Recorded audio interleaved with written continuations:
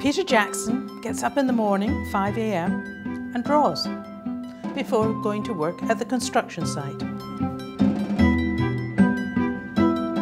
Inspired by his art teacher, who introduced Peter to the diversity of line and texture in drawing, and from drawing from your own imagination.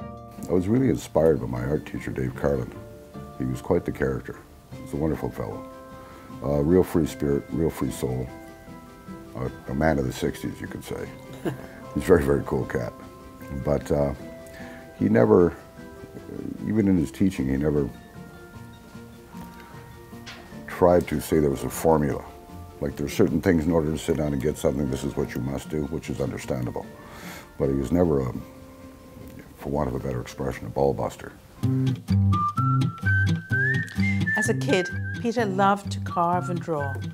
He would pick up a rock and see all kinds of forms of light, texture, and shapes. This excited him to sketch and draw. Yeah, ever since I was a little kid, not I, I, I've carved, I've drawn. I'm, I'm one of those guys that picks up a rock and looks at it and goes, okay, fine, let's see what we can find in it. And hopefully there's something, and there usually is. Peter's passion and relaxation is drawing from his own imagination. He's free to draw whatever he likes. He has books and books of drawings, of ideas, thoughts, and whimsical illustrations. It's an animated surrealistic impressionism. Okay. It's a whole bunch of stuff, All right. but it's true. You know, it's a drawing. Uh, it, it, it's it's animated.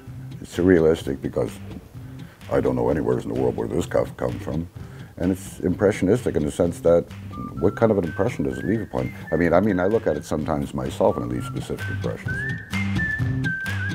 Nothing to draw? Let your imagination loose. I think the greatest critics I'll ever have in the world are little kids. Stops them dead in their tracks. It's oh, fact, oh, absolutely. What are you doing?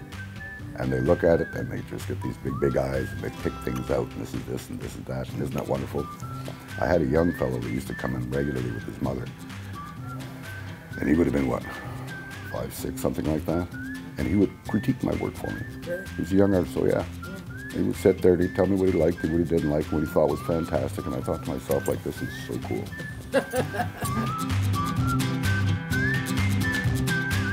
I hold on to the pen and go for the ride. In the Comox Valley, I am Kate Brown.